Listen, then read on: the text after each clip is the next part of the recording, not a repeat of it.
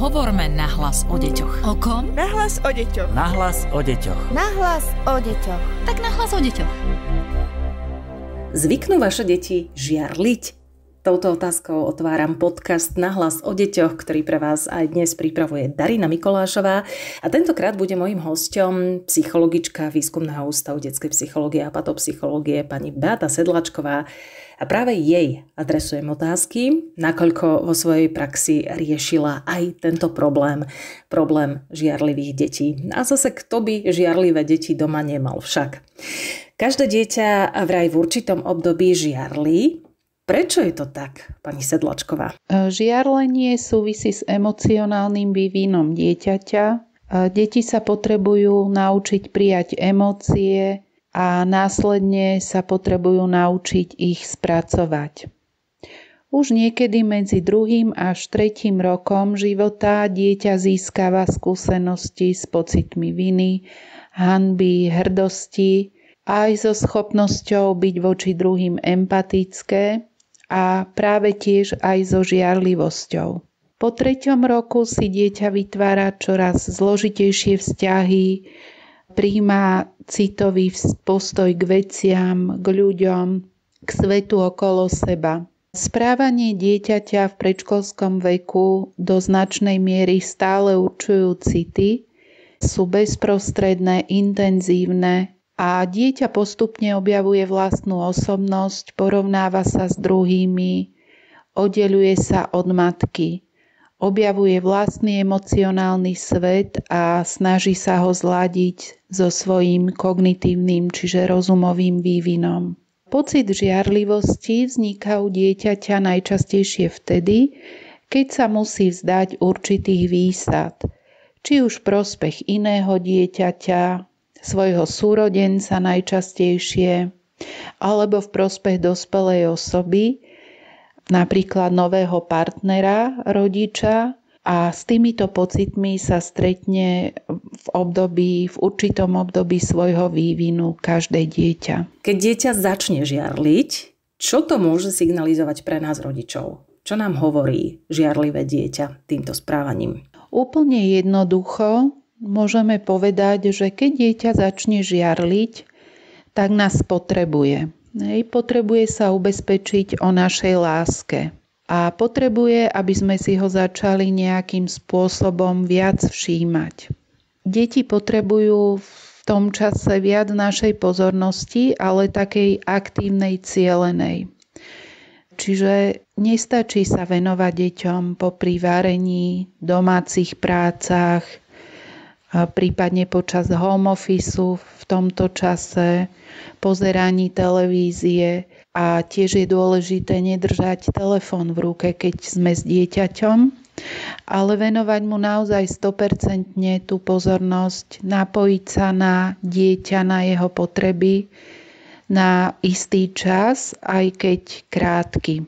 A potom sú deti, ktoré potrebujú nejakým iným spôsobom lepšie nastaviť hranice. Čiže rodičia sa im maximálne venujú, ale každý rodič potrebuje aj čas pre seba, nejaký vlastný priestor, či už na rozhovor s dospelým alebo telefonát. A o tomto je to nastavení hraníc, že venujeme dieťaťu bezvýhradnú pozornosť, ale potom by mal existovať aj priestor, ktorý máme sami pre seba. Áno, to je dôležité, aby sme mali aj priestor sami pre seba. Môžeme za to, že dieťa žiarli aj my rodičia niekedy? Každé dieťa sa rodí s vlastnou osobnostnou výbavou.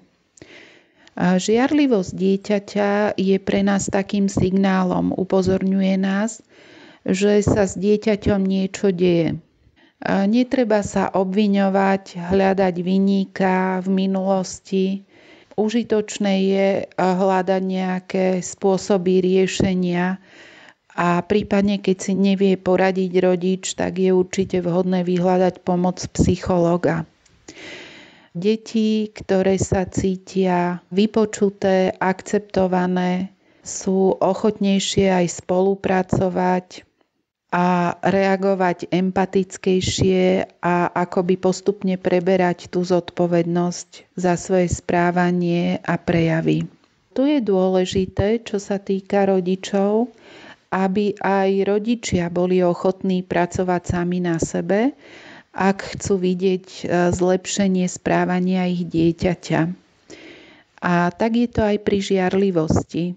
Hej, keď chceme dieťa naučiť, ako vhodne reagovať v tej ktorej situácii, ako si poradiť s vlastnými emóciami, tak rodič by mal byť e, vzorom, príkladom pre dieťa, aby dieťa mohlo odzerať tie vhodné vzorce správania od rodiča. A povedzme si, aké môže mať detská žiarlivosť prejavy. To ma veľmi zaujíma a myslím, že našich poslucháčov to bude zaujímať tiež.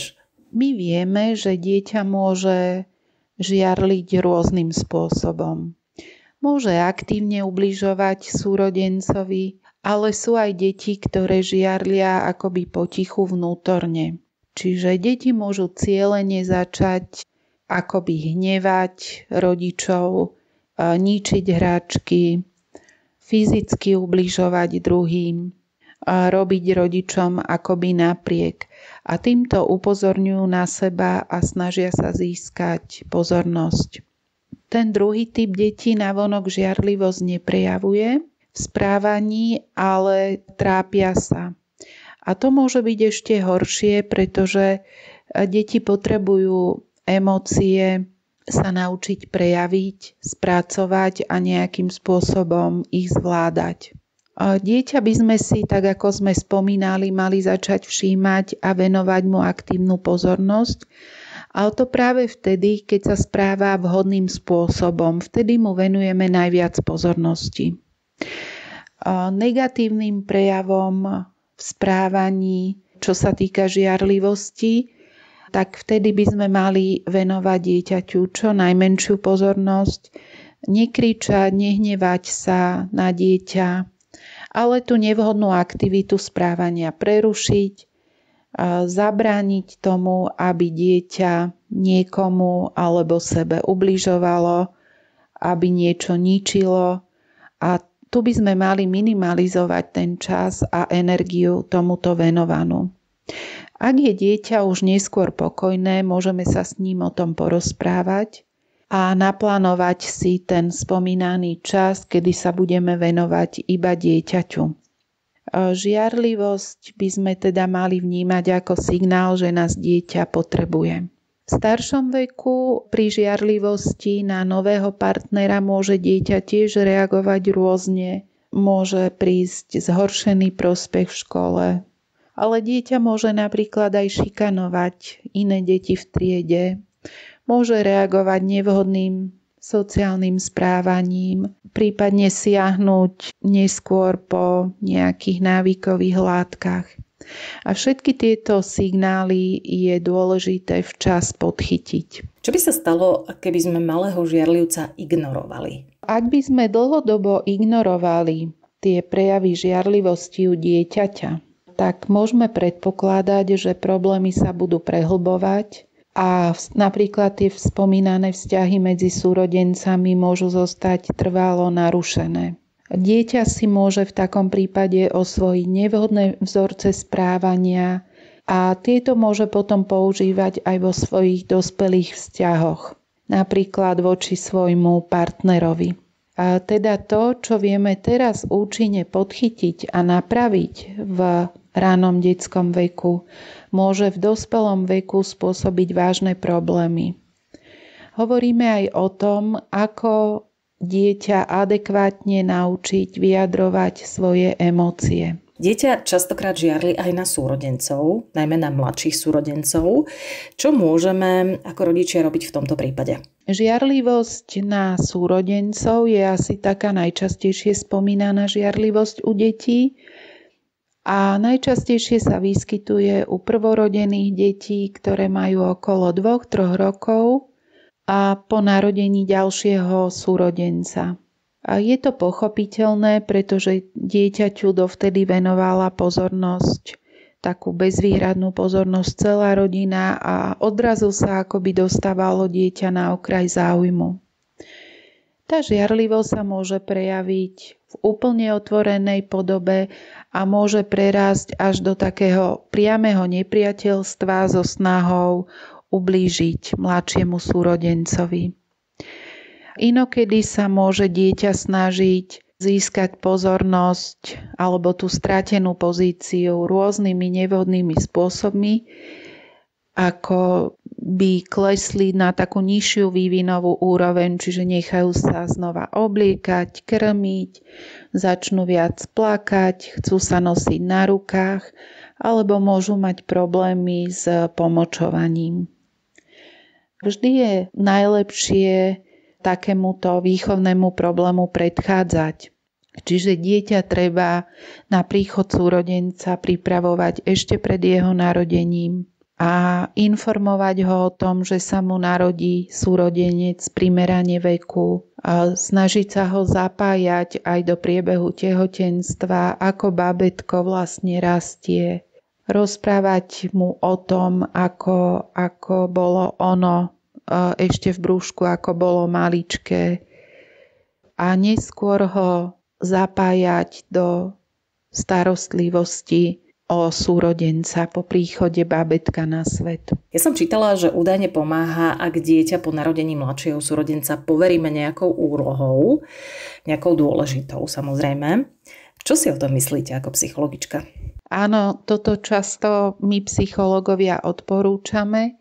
Hneď ako sa dieťatko narodí, zveriť staršiemu súrodencovi nejakú dôležitú úlohu, Malo by sa mu v rámci možností primerane veku dovoliť, aby sa zapájalo do starostlivosti o súrodenca. Chvíľu ho postrážilo, podalo mu cumlík, aby znova nadobudlo dojem, že je pre rodičov dôležité. A nemali by sme zabúdať ho oceniť za to plnenie úlohy a za tú pomoc, a rovnako, ako sme spomínali, nájsť si vždy chvíľku, kedy sa budeme venovať len jemu a ponechať si nejaké spoločné rituály. Vhodné je aj vymyslieť nejakú spoločnú aktivitu s bábetkom a opakovane dieťa ubezpečovať, že ho máme radi a oceňovať jeho vhodné správanie voči novému súrodencovi, chváliť ho aj napríklad pred starými rodičmi v rámci rodiny, aby sa necítilo odstrkované, ale aby znova malo taký ten pocit dôležitosti. A predstavme si teraz situáciu, že do rodiny príde nový partner, nový muž alebo nová žena a dieťa ho začne zo žiarlivosti doslova vytláčať. Začne robiť všetko preto, aby sa zo života opäť vytratil, tak ako e, prišiel ako reagovať? Odporúčam veľmi pokojne a citlivo reagovať. Čiže je dôležité, aby dospelý zostal pokojný, nehnevať sa na dieťa. Prvoradé je pre rodiča jeho dieťa a každé dieťa potrebuje individuálny čas, kedy si na nového partnera zvykne. A s týmto by mal byť oboznámený aj nový partner. Práve rodič a nový partner sú tí dospelí a zodpovední za vzťah s dieťaťom. Rodič je pre dieťa vzorom, učí ho, ako vhodne reagovať. Vhodné je zachovať si s dieťaťom aj vlastné aktivity, ktoré mal rodič predtým, spoločne strávený čas iba vo dvojici bez nového partnera – Čiže tento proces by mal prebiehať tak postupne a citlivo, nesnažiť sa hneď robiť všetko spolu a zapájať partnera do všetkých aktivít. Čiže nie je to tak, že by mali všetci zrazu tráviť čas v trojici a vhodné je rešpektovať takéto individuálne tempo dieťaťa a jeho individuálne reagovanie a prežívanie k novému partnerovi. A poďte nám ešte poradiť, čo e, máme robiť, aby sme nevychovali dieťa, ktoré bude aj v dospelosti chronickým a chorobným žiarlivcom, pretože tej žiarlivosti sa mnohí doslova desíme. Vhodné je podporovať zdravé sebavedomie dieťaťa a pomáhať dieťaťu hľadať, v čom sa mu darí, v čom je jedinečné. Čiže podporujeme dieťa v jeho záujmoch, v krúžkoch, ktoré navštevuje, v tom, čo ho baví, v čom sa mu darí. Ale zároveň aj s láskou nastavovať dieťaťu hranice, pomôcť mu oddeliť svoj vlastný svet a svet druhých, rešpektovať hranice druhých ľudí a ich vlastný priestor. Čiže dieťaťu by sme mali pomôcť, aby sa nestalo takou závislou osobnosťou. Pomáhame mu budovať pestré medziludské vzťahy, nadvezovať kamarátstva a snažiť sa nežiť ako rodina izolovanie. Čiže pomáhame dieťaťu objavovať krásy sveta a nachádzať svoju vlastnú hodnotu. Hovorí psychologička Beata Sedlačková, nájdete ju, ak budete niekedy potrebovať, vo výskumnom ústave detskej psychológie a patopsychológie a náš podcast na hlas o deťoch nájdete vo všetkých podcastových aplikáciách. Ak máte akékoľvek otázky, nech sa páči, napíšte nám na hlas o deťoch zavináč woodpap.sk. Teším sa na vás opäť o týždeň.